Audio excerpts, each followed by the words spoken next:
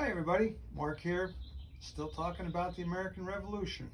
So today I want to talk about one of the players, major player in this whole thing, uh, a gentleman by the name of John Adams. We've talked about John Adams a little bit before, but he was uh, an interesting person.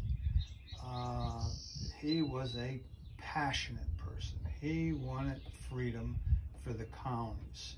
Uh, there was no question in his mind, and he fought very hard to uh, convince the other members of the Continental Congress that freedom was the way to go.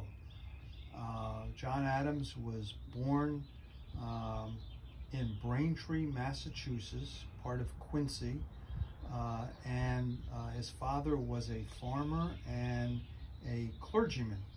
And it was thought that John, being the, the eldest, would follow in his footsteps. But he didn't have the passion for the clergy, uh, but he loved to talk and he loved to uh, pontificate.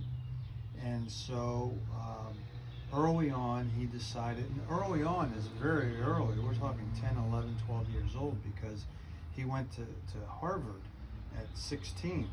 Um, as, as, did most people at that age. And so um, he convinced his father. He loved uh, he loved the the conversations back and forth. His father was in in the brain uh, Braintree politics, and the conversations back and forth and the negotiations and because the clergy kind of solved all the problems of the area and he just loved that he had that passion for it so uh, convinced his father that he wanted to go to Harvard to be a lawyer. His father was very supporting of it. In fact, sold part of the uh, family farm uh, to pay for John to go to Harvard. And then he went off and John went off and, and uh, was a teacher in Worcester and, and a couple other places, returned to Braintree, uh, fell in love with a young lady by the name of Abigail and we're going to talk about her probably tomorrow. And these two, uh, they wrote volumes and volumes of letters to each other. And uh, they had such passionate terms. She would write every letter, my dearest friend. And he had just all kinds of, of lovely names for her.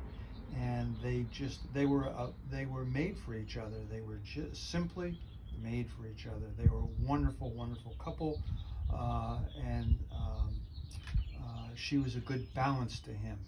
Now we know that he was a very prosperous lawyer in Boston, uh, and then he he defended the uh, Lieutenant Prescott at the Boston the, of the Boston Massacre fame, and lost a lot of his clients because a lot of his clients were um, uh, patriots, as was he, but they couldn't understand that his passion was we must show England that we are a civilized nation over here. And that's why he wanted a fair trial. And so that's why he, he defended them. Uh, and it, it hurt his it hurt his business.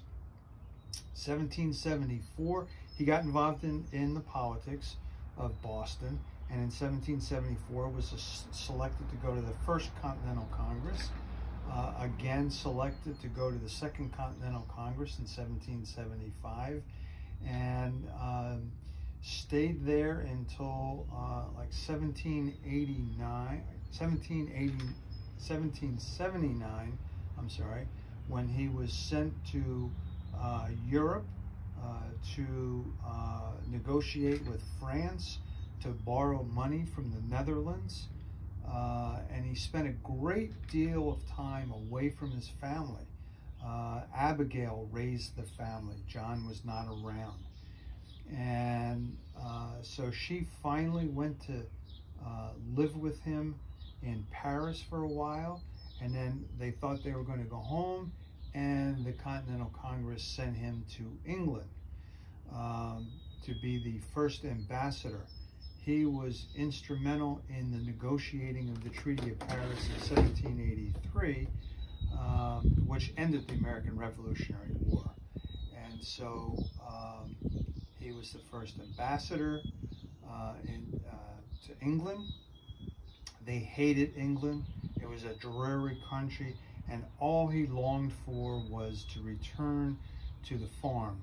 Uh, now, little history about the farm is that he had a house right next to his father's house in uh, Braintree and a small little cabin.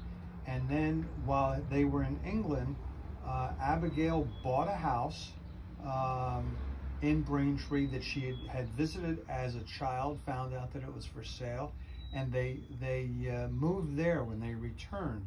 Uh, she had it completely remodeled and, and, and redone, and it was later uh, inhabited by their son, John Quincy Adams.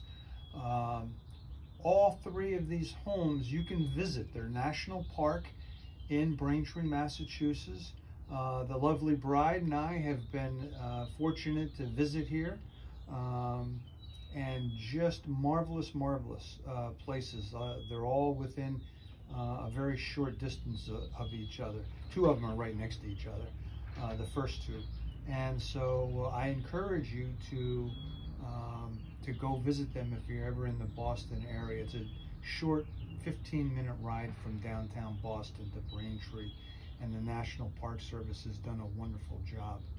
So John returns, uh, Abigail returns uh, to Braintree and lo and behold, what happens, but uh, he's asked to be the Vice President of the United States under George Washington. And um, so he, he does, and he is elected Vice President. Um, and then he thinks he's all done. And then it doesn't look like there's anybody around that, that's going to uh, run for president because they don't know what to do. They all thought Washington would stay forever, and he didn't. So in uh, 1796, he runs and is elected as president. And he's the first president to live in, in the White House in Washington, D.C. Uh, you have to remember that the, the uh, White House was in Philadelphia at this time. So he gets to, to be the first to live in the current White House that we know. Seven or 1800, um, he uh, runs for re-election, but he runs against his very, very good friend, Thomas Jefferson.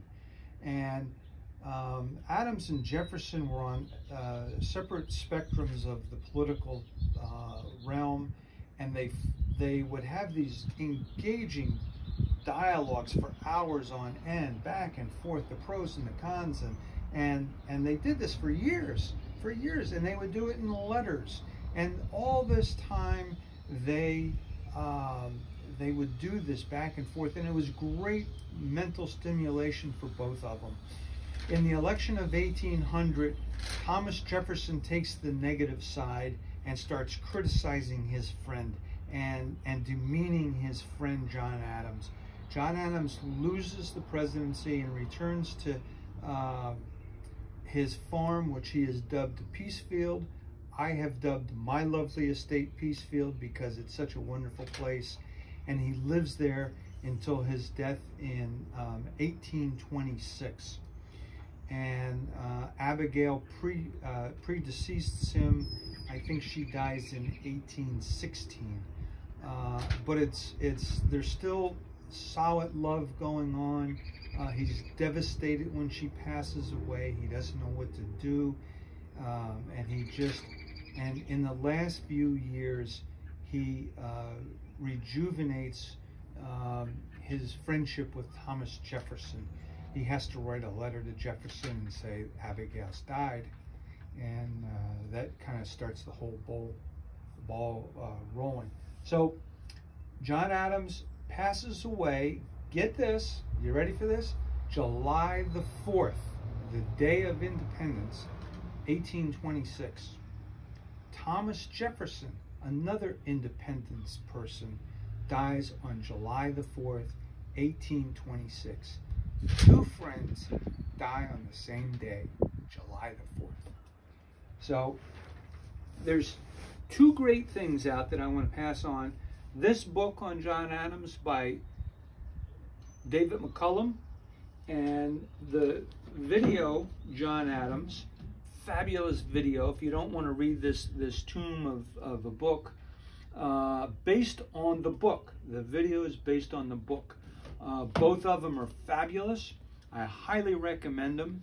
And I want to close with a, a quote from John Adams.